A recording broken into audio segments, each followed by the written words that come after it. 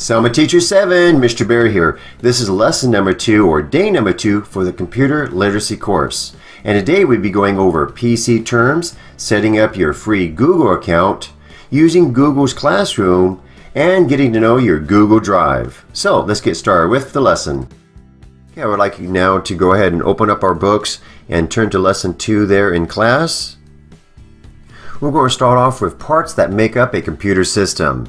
The computer is made up of, from a system or a group of hardware components that work together towards a common end. In this lesson, we will look at these parts for a better understanding of what these devices actually do. First off, let's look at the monitor. Monitors are an essential part of a complete computer system. LED LCD monitors are now the standard for the monitor type used. The advantages of LED LCD monitors are many.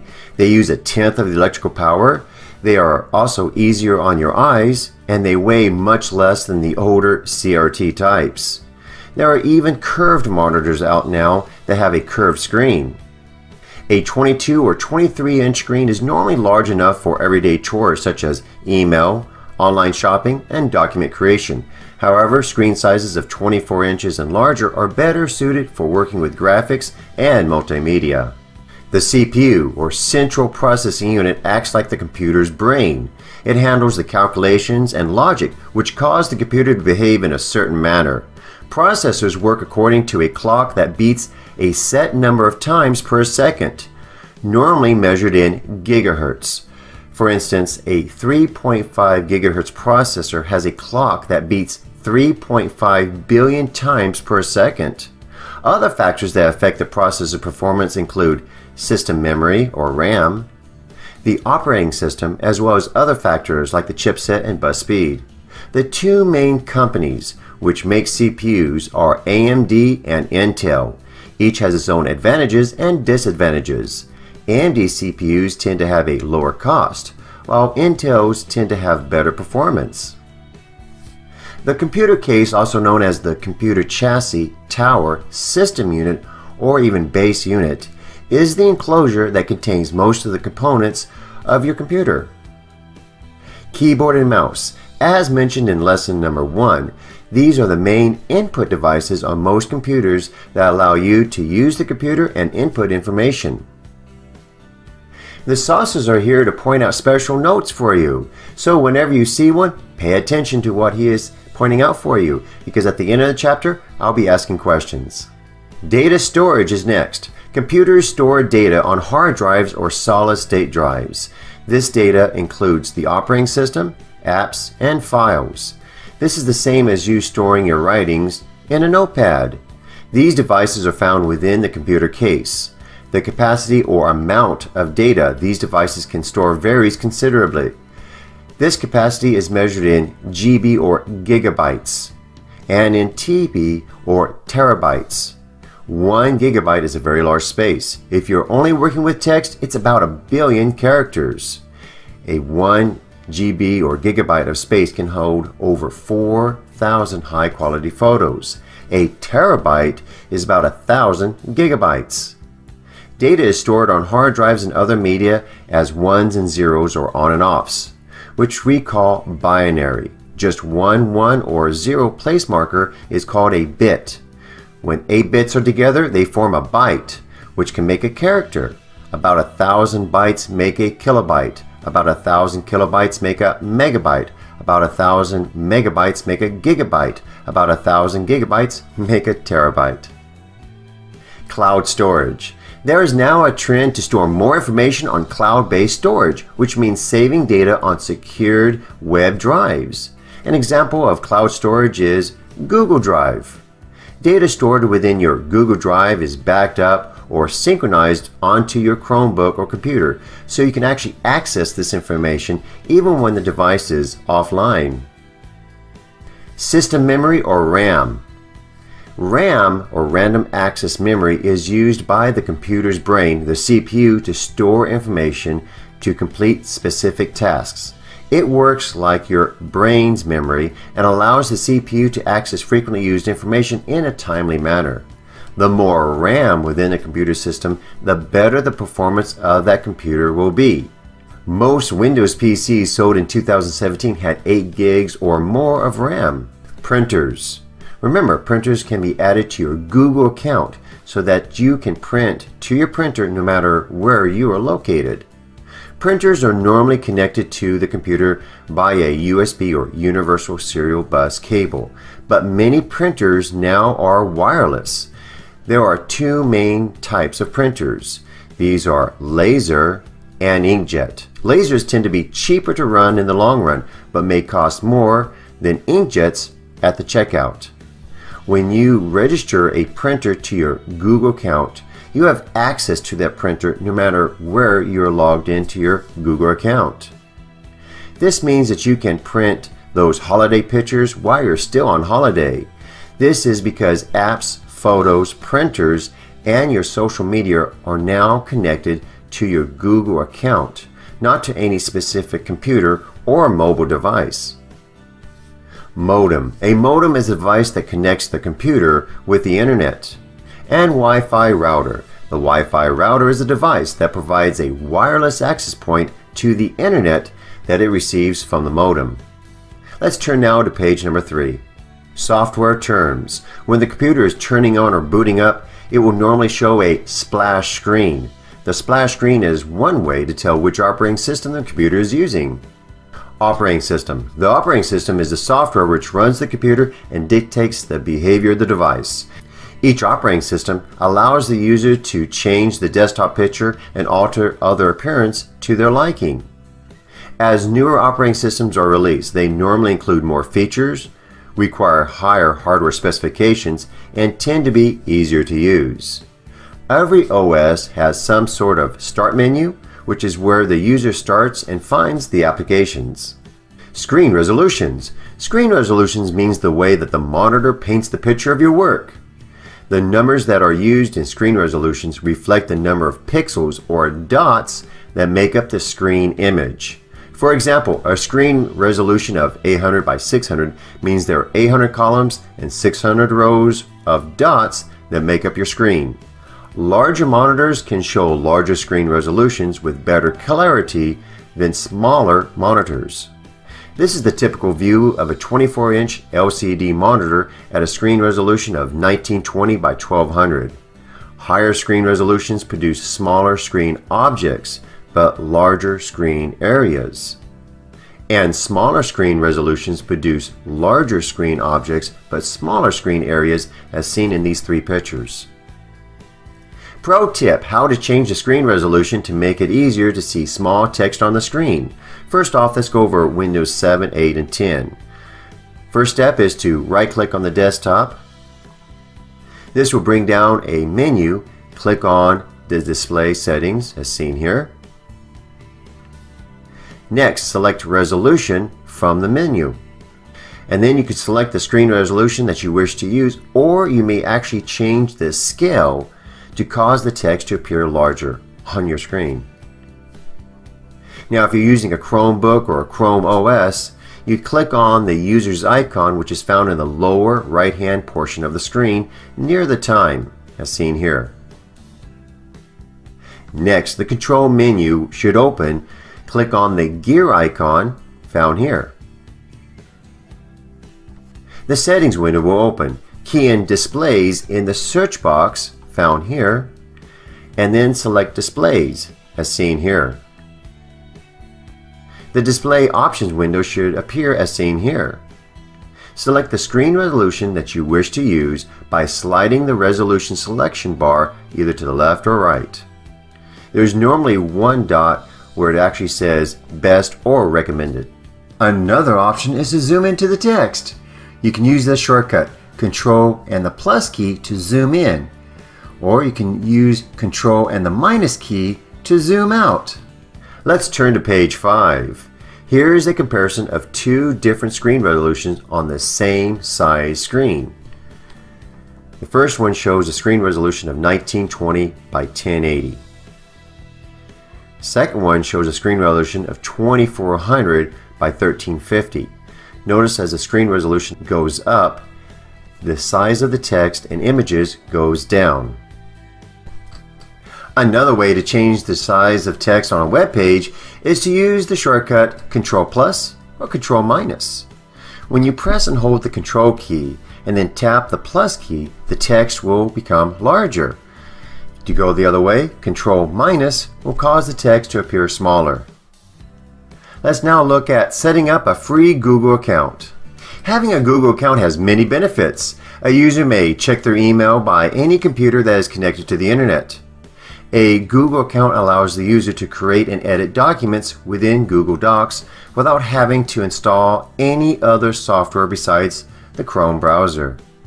It also allows users to save their documents, pictures, music, and movies in a special online storage called Google Drive. It has built-in virus protection and security. Also, it will never have a cost for the free account. So let's see what you can get with the Google account. Well, there's many of their own apps as you can see here, but there's literally thousands of apps in the Chrome Web Store. Hangouts is for free calling. With it, you can use your computer to actually make phone calls. You can even do video calls. So what is a Chromebook? A Chromebook is a laptop that runs the Chrome OS, making it run fast and secure. It even runs many of the applications offline. So which Chromebooks are best to buy in 2020? Google publishes expiration dates for Chromebooks on their auto update policy page. But rather than browse down into each Chrome OS device maker's page to find out if one particular Chromebook was expiring, I compiled a quick list of every single device and then sorted them out by their expiration dates. 51 Chromebooks have expired dates, meaning that they will not receive any updates for their hardware, software, or security. Another 35 have only one year left to support. 29 Chromebooks have two years of life left, and another 13 with about three years. Frankly, that's quite a bit of Chromebooks you could potentially purchase that will no longer get updates very soon after you buy them. All told, not counting the already expired Chromebooks, there's 77 I think you may want to avoid right now. They are listed below, followed by the newer Chromebooks that I would recommend. Now, just because a Chromebook doesn't receive any updates doesn't mean that it doesn't turn on or doesn't work for you any longer. It simply means that it will no longer be receiving security updates. Alright, now the list is very, very long. And what you can do is you can actually pause the screen if you're looking for a particular Chromebook and you were looking for a particular model. You could pause the screen here and then uh, browse through these. But these are the one Chromebooks that have already expired and will no longer receive any updates. So here's the first part.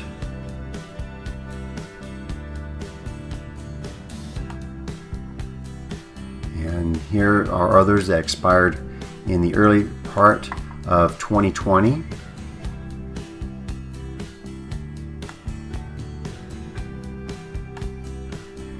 Now these right here will be expiring in late 2020.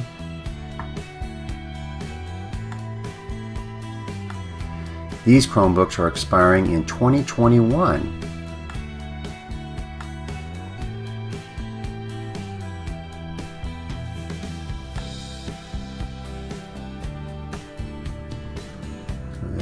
There. Again, remember you can always pause by hitting the spacebar and then to replay or resume, hit that spacebar again.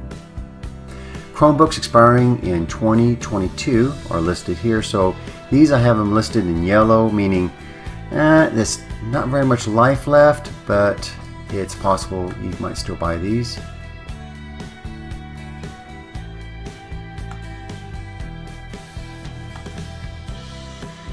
These Chromebooks are expiring in 2023.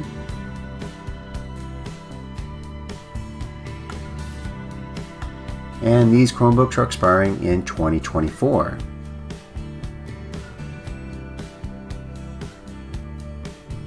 Right away, I notice mine is right there. This is the one I recommend, or I have recommended for many years. And it's the Acer Chromebook 15, the CB515 1H. That's the one that I currently use.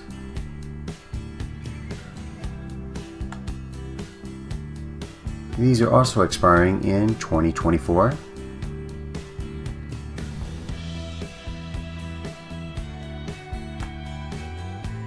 Now we get into the green area.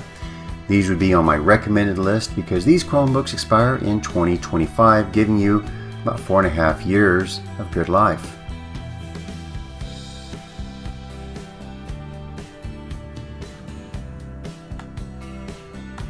These are in late 2025, so that gives you a full five years.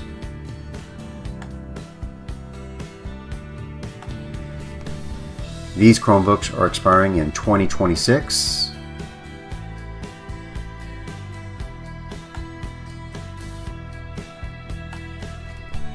And you can see there's a long list there for the 2026 models.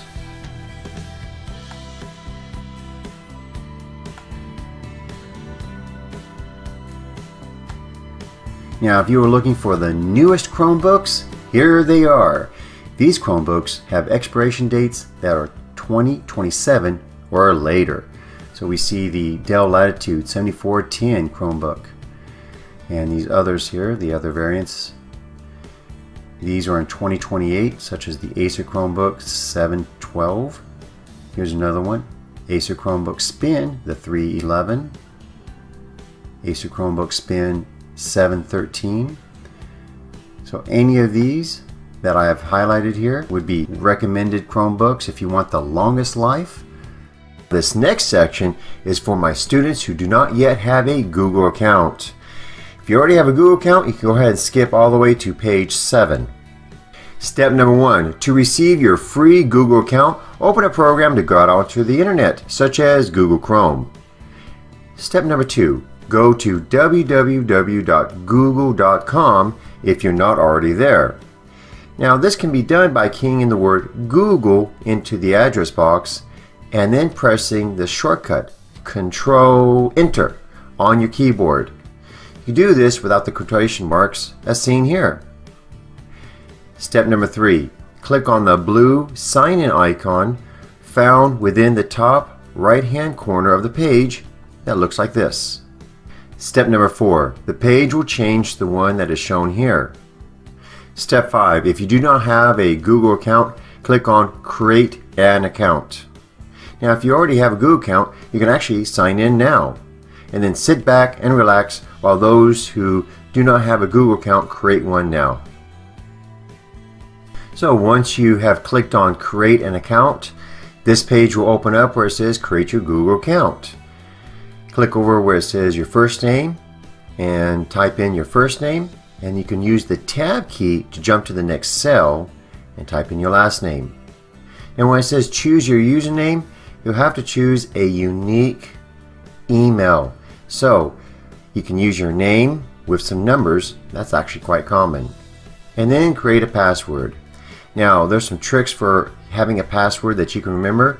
You can use things and objects that you already are familiar with, such you can use names, phone numbers, or even places, and all those can be combined into make a nice good password. Then you can put in your birth date and follow the on-screen instructions. Remember, never forget your Google username or password.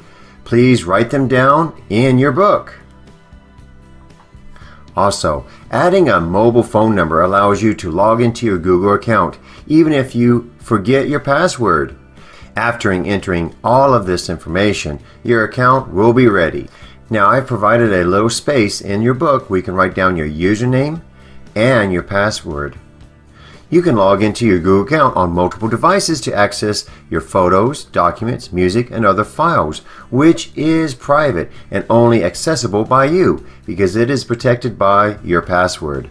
This means that documents created on your Chromebook may be accessed on your smartphone or even on your Windows machine. Also, documents and other files are automatically saved for you within your Google Drive.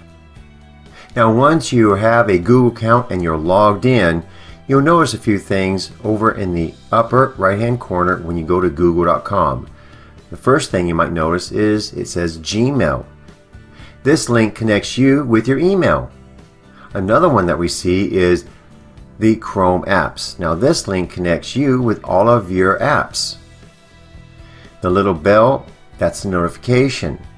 And the last one is your account settings. So you can actually get any of your account information or change things in there with that icon. In this next segment, I'm going to show you how to use the video and do your work at the same time. Now these tricks with these shortcuts, they work great if you have a large screen, such as a 24 inch screen to do your work on.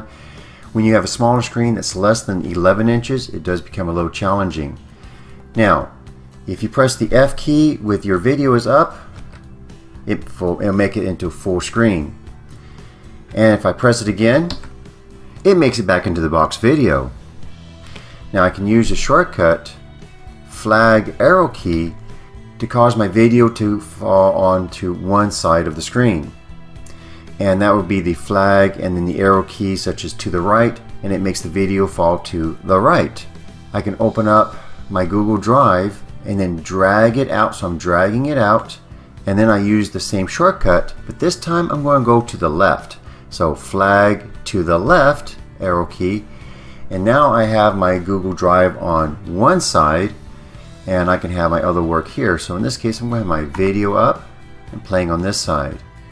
So now I can do my work and watch the lessons and the steps at the exact same time. Now this can also be done within the Google Meet. So if you're doing Google Meet, you can also do the same trick with the flag and the arrow keys. Now those tricks are, are working on a Windows computer. If you have a Chromebook, the shortcut is Alt bracket. So you have the Alt left bracket if you want to work with stuff on the left hand side. And it's Alt right bracket if you want the window to be working on the right hand side. So now you notice I have the video working here and I have my work over here. Now for my students who are using Mac computers, you can use two Mac apps side by side in what's called split view. With split view, you can fill your Mac screen with two apps without having to manually move and resize each of the windows. So it'll look something like this, with the video running on one side and you work on the other side of your screen. Now the steps differ slightly based on which Mac OS you're using. If these steps don't work, simply choose Apple, Menu, and go to your System Preferences. Then click on Mission Control and make sure that displays have separate spaces is selected. Now, for Mac OS Catalina, 1. Hover your pointer over the full screen button that's found in the upper left hand corner of your window, or click and hold the button. Number 2. Choose the tile window to the left screen or tile window to the right of screen from the menu. The window will then fill that side of the screen.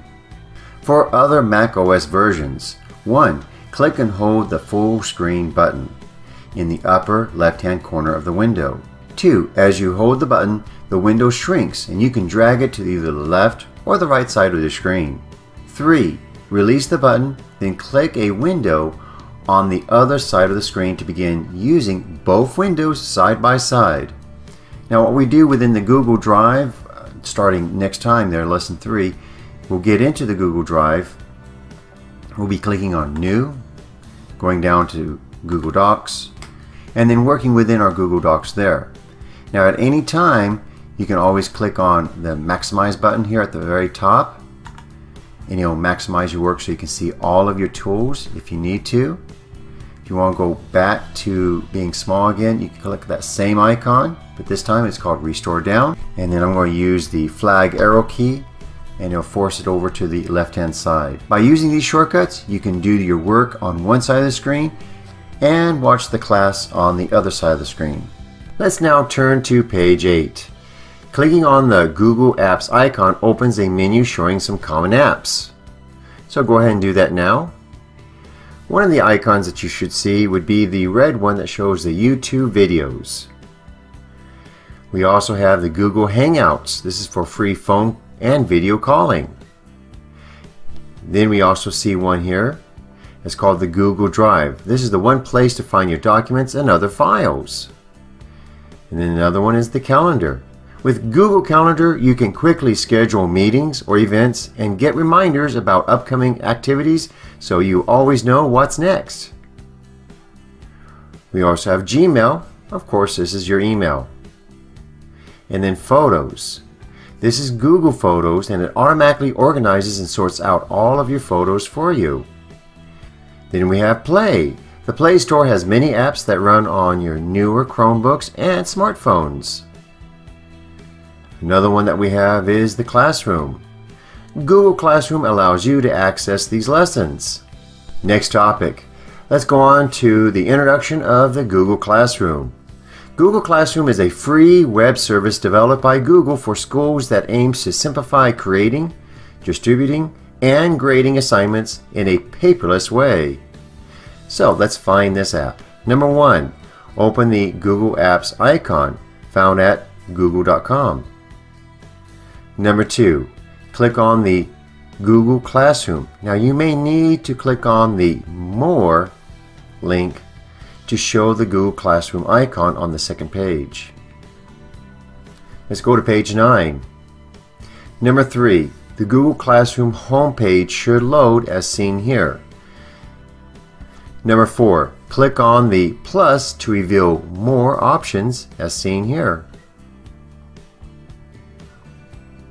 Number 5. Click on Join Class.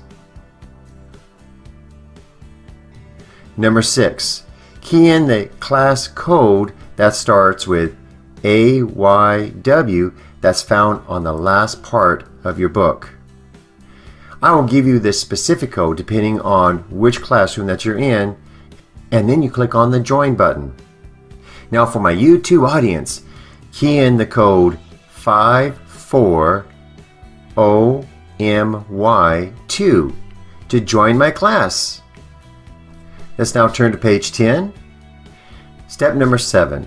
My Computer Literacy Classroom should load as seen here. Number 8. You may receive helpful tips the very first time that you use Google Classroom. You may read these tips and then click Got It to close them. Number 9. Your classroom may look like one of these depending on which class that you've joined. Let's now turn to page 11. Step number 10. You may click on any of the assignments to view those. To watch a video, simply click on the one that you wish to view. It will open into a new window as seen here. Number 11. Once the video lesson opens, you may then click on the YouTube button, normally found at the bottom of the video, to watch the video in YouTube, where you can add comments, rate the video, or even share the video. Number 12. We will be using Google Classroom every day to help you find each lesson. Next topic, Introduction to Gmail. Number one, click on Gmail to read your mail. If this is the first time that you've ever used Gmail, it will open to a window like this. Number two, you may click on the blue Next, OK, or Got It buttons to close off those messages. Let's turn to page 12. Step number three, your email should load into a page like this one. Step number four, before going on, let's learn the different icons used within Gmail. The first one that we see here is Create for creating your new email. Then we have our email folders. Then we have the primary email folder, the social email folder, and the promotional emails. To open an email that has been sent to you, click on its subject or its title. Hey, we have a pro tip. You can organize your incoming mail into folders by using the filters found within the settings. To forward that email, click on the three small dots found on the right side of the email and then select Forward as seen here. Page 13. Gmail now has built-in tools to help you with your tasks. These tools are the calendar, the Keep Notebook, Tasks, and the Get add-ons. Each one of these opens up into a small sidebar as shown here. Page 14. Sending your first email. Number 1. To send a new email, click on Compose. Number 2. Once you have clicked on Compose, a new window opens up in front of your work. Number 3. Key in the email address that I will give you in class. Now for those who are in my classroom, the email that I want you to send an email to is found on the last page of the book. Number four, click within the subject box and key in the word hello. Number 5. Click within the main message box of the email and key in a short message. This could be something as simple as, Hello Mr. Berry or Hey, how you doing today? Now, after you've keyed in the message, we're ready for step number 6. For extra fun, you may drag and drop pictures or even text and video into the main message area of the email to insert those items into the mail. You may also use the tools found at the bottom of the email window to add elements to your email. Number 7. To change the text size, fonts, and colors, you may use the tool that looks like a capital A found at the bottom of the email window. Let's turn to page 15. Step number 8. After typing in a short message, click on the Send button that can be found at the bottom of this window. Once you discover how to use Gmail, it can be a great deal of fun. Let's go on to the next topic, Google Drive. The Google Drive is the one place where you can store your documents, pictures, and other files securely. Google Drive in detail. Number one, if you're not logged into your Google account, log in now and go to a new tab within the Chrome browser. The new tab button is circled in red in this image. It is found towards the top of your screen. Number 2. Click on the Google Apps icon as seen here. Number 3. The Apps menu will load showing the apps that are installed in your account. Page 16. Step number 4. Click on the Google Drive icon.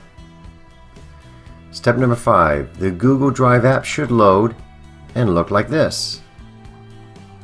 Let's talk about the elements of that page. The first one we see would be the New button. This allows the user to create new folders, documents, and a host of other types of files. It also allows the user to upload files. The next one says My Drive. This area is where users see and can access their files. Next one says Computers. This area allows the user to see the folders within their other computers. Another one we have is shared with me. This area allows the user to see all of the files that are shared with them from other users. Then we have recent. This is the area that lists the files that were recently accessed by the user. We also see starred. This area shows any files that have been starred by the user. Let's go on to page 17. First one we have there is trash. This is the area that holds the user's deleted files until the trash is emptied. Next one we have is backups. This shows which files have been backed up from the user's computers. Then we have the File View options. This allows the user to change how the files appear within the drive. It's either a list view or a picture view. Then we have the tools. This allows the user to change many of the options found within their drive. We are now going to make a new folder in your drive and organize all of your class work. Number one, from within the Google Drive, please click on the New button as seen here. Number two, click on the Folder option from the menu that drops down. Number three, the New Folder dialog box should open as seen here. Step number four, key in Project Folder fall 2018. We'll be needing to use the current year because these might be used in 2019 as well. You key all that into the box that's provided. Number 5. After giving the new folder a name, click on the blue Create button. 6. You will see the new folder appear within your drive as seen here. 7.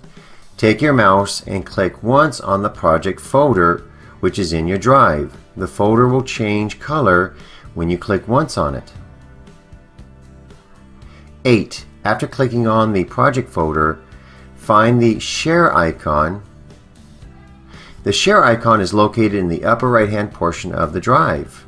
Step number 9. Click on the share icon now. Number 10, after clicking on the share icon, the share with others window should open as seen here. Step number 11, key in the address that I will give you in class. This is the address that I've placed on the last page of the chapter or your book. Step number 12, click on the blue send button after keying in the email address. 13, after sharing the folder, double click the project folder to open it. The project folder will load showing that there are no files in it yet. While you've just created is a shared folder and any work such as documents or spreadsheets that you create within this one folder is automatically shared with your teacher. Now work that's created in other folders is not automatically shared. So it's a good way to share just your classwork with your teacher. Let's now turn to page 20. Your Google Drive comes with 15 gigs of free space. If you own a Chromebook, Google adds another 100 gigs of space to your drive. If you own an Android phone or tablet, Google adds another 15 to 30 gig of space for each device. Remember, Google Documents, spreadsheets, forms, and presentations do not count against your drive space. We have done a great deal in this lesson, from learning the parts that make up a computer system to creating a Google account and using your Google Drive. I hope that you make time to review some of the content that we have went over today and log into your Google account at home. Now let's go on to the questions for lesson number two. If you're taking this class for credit, then take a sheet of paper, write your name along the top line. After answering these questions, please turn them in to Mr. Berry. Or you may go out and start a new email and send an email to selmateacher7 at gmail.com with your answers. Question number one Which monitor type uses the least amount of electricity?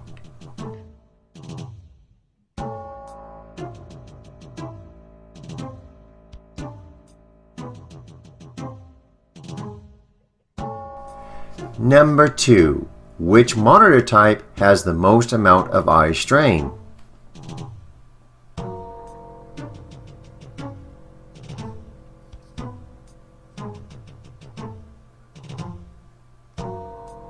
Number 3. The CPU acts like a what?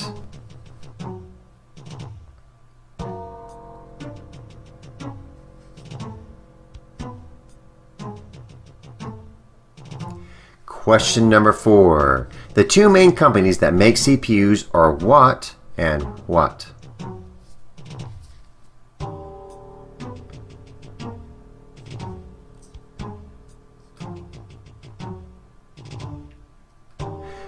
Question number five. The what holds all of the devices together which allow the computer to work.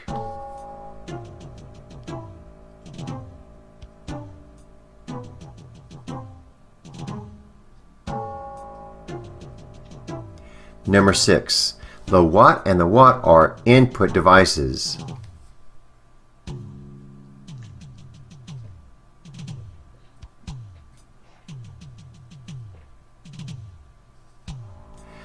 Question number 7.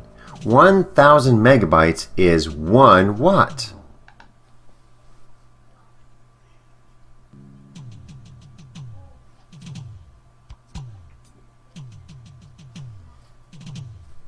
Question number eight. RAM is short for what?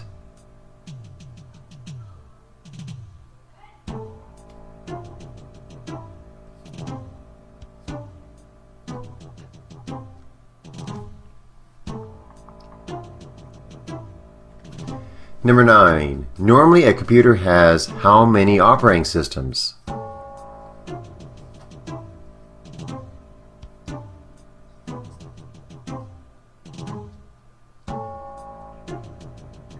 Question number 10. Booting means what?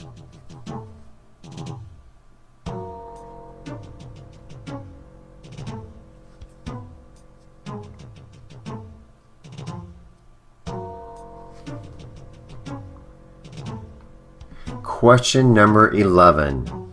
The Windows desktop picture can be changed. Is this true, false, or none of the above?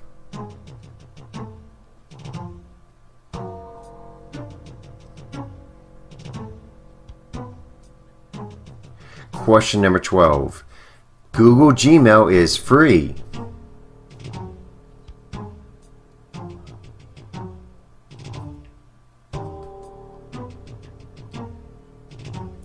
Question number 13.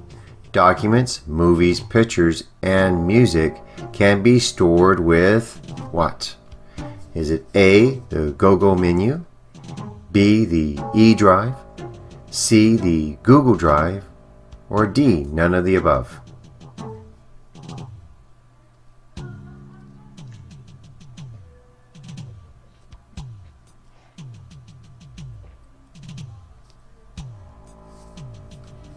Number 14. You need to log into Google to retrieve your Google documents. Is this true, false, or none of the above?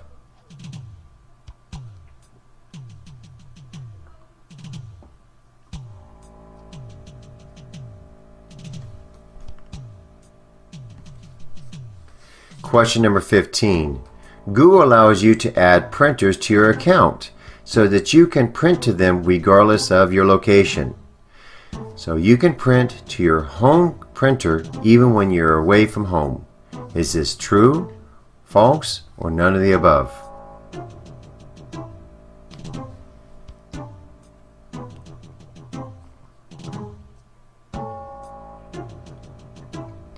Question number 16.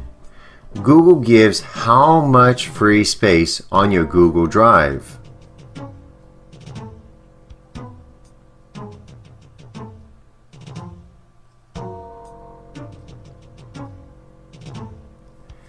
Question number 17. If you give a mobile phone number, they can call you if you forget your password. And this is regarding Google accounts. Is this true, false, or none of the above?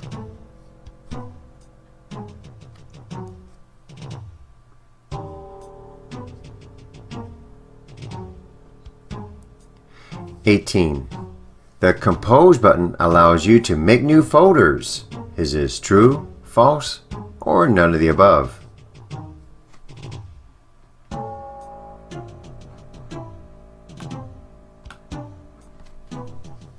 Question number 19. Forgetting both your Google username and password will make it very difficult to get into your account. Is this true, false, or none of the above?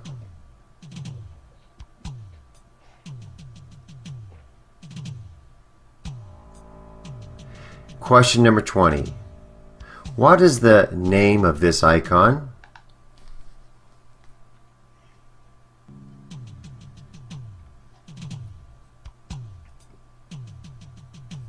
Question number 21.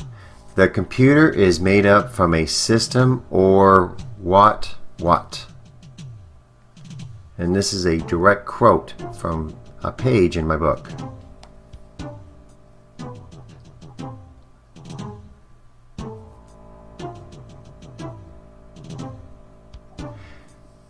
Question number 22. Give one example of a cloud storage.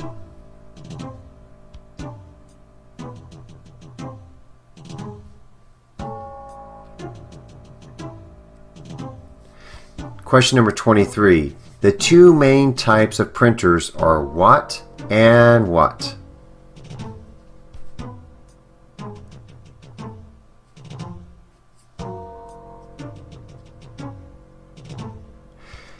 Question number 24. Name the device that connects the computer with the internet.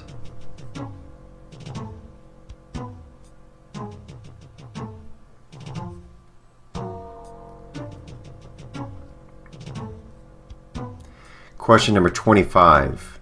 Name the device that provides a wireless access point to the internet that it receives from the modem.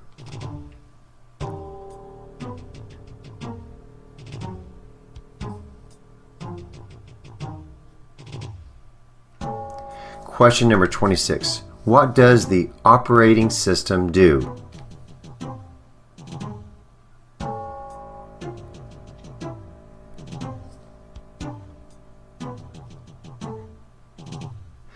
Question number 27.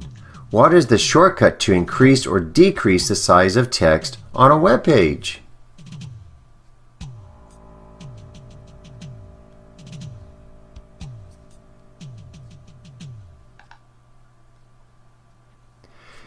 Question number 28.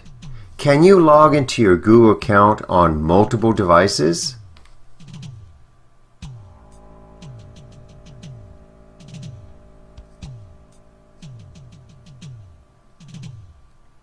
Question number 29.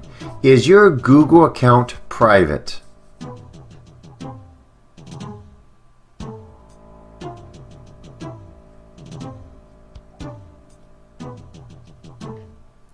Question number 30. Do you need to remember your Google username and password?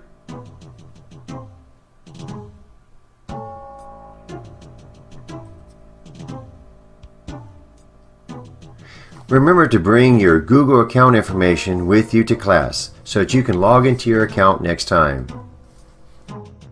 Well, that concludes lesson number two for the computer literacy course. Thank you very much for watching the video and if you haven't done so, please subscribe. And when you subscribe, there's a little bell icon. Make sure you go ahead and click on that bell icon so that you actually be notified when new videos come out. Thank you again and bye-bye.